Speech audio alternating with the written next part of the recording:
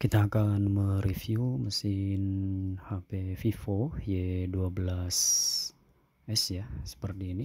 Ini bekas terkena air ya kerendam air cucian seperti ini. Ini backdoornya seperti ini teman-teman. Ini baterainya seperti ini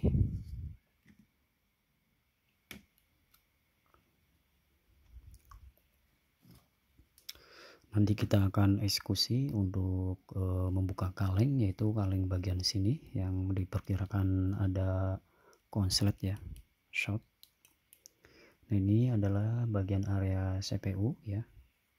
CPU perkiraan aman karena kalengnya rapat ya. Kalau untuk desain sih saya akuin bagus ya. Ini area IC power. Ini area IC sinyal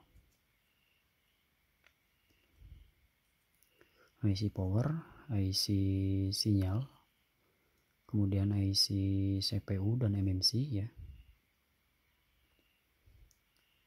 Nah, di sini ada IC WiFi ya. Di sini IC WiFi.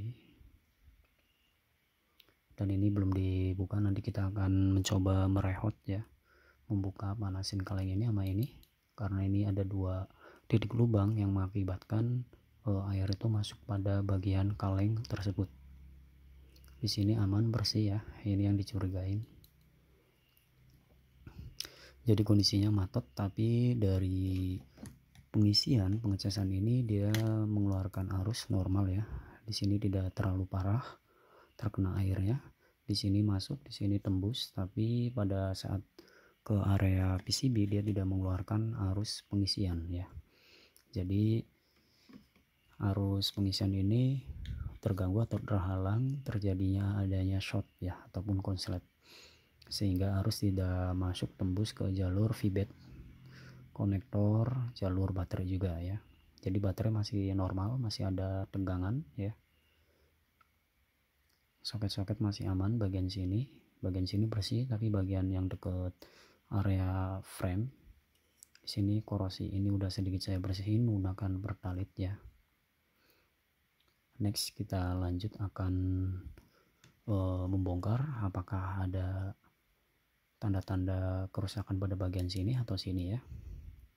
Klik subscribe ikuti channelnya. Next video selanjutnya ya. Kita review dulu. Siapa tahu teman-teman ada yang pengen melihat bentuknya. Vivo Y12s seperti ini ya.